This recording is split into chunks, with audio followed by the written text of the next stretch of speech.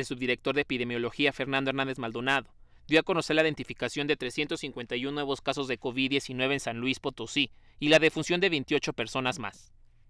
Hasta el corte de este sábado 23 de enero, en territorio potosino se ha registrado un total de 45.363 casos confirmados y un acumulado de 3.798 decesos. Se trata de un grupo de 181 mujeres y 130 hombres cuyo rango de edad va desde 2 hasta los 95 años. La mayoría adquirió la enfermedad de manera local, en 27 de los 58 municipios del estado. Esta ocasión, 242 casos, 208 en el municipio de San Luis Potosí, 34 en el municipio de Soledad, Vemos también en la zona del altiplano, en Matehuala, en esta región de Matehuala de jurisdicción sanitaria, 11 casos los que tenemos, 7 propiamente en el municipio de Matehuala, 2 en el municipio de Cedral, uno en Venado y uno en Villa de Guadalupe. Y vemos aquí en la jurisdicción sanitaria número 3 a continuación como prácticamente pues tenemos una amplia dispersión, prácticamente en todos los municipios de esta parte del estado pues estamos presentando casos, son 33 casos los que tenemos, son 6 en el municipio de Santa María del Río, tenemos 2 en Villa de Arista, tenemos uno en Cerro de San Pedro, 2 en Tierra Nueva, tenemos cinco en Agualulco, uno en Armadillo, dos en Mezquitic, tenemos de nueva cuenta seis en Salinas, este, tenemos uno en Villa de Ramos y también tenemos seis en Villa de Reyes y dos en el municipio de Zaragoza. En la zona media, esta ocasión con 41 casos, continúa predominando, desde luego sabemos que es la región, el municipio más poblado, Río Verde y Ciudad Fernández, con 19 casos y 11 casos respectivamente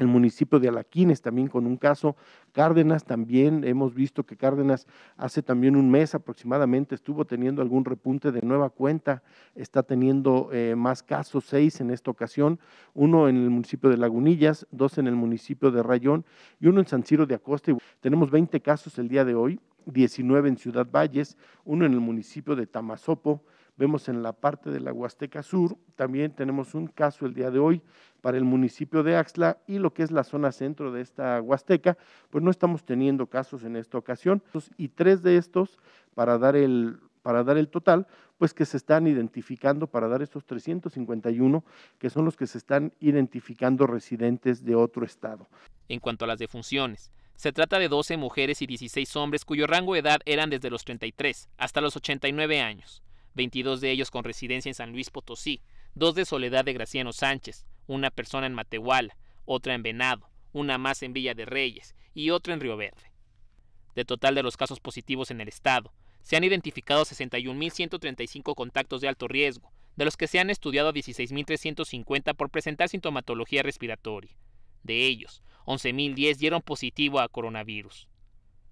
Por otra parte, se dio a conocer que 26.759 personas han recibido su alta sanitaria después de haber cursado esta enfermedad. Con imágenes de Germain Santos, José Luis Vázquez, Noticieros Canal 7.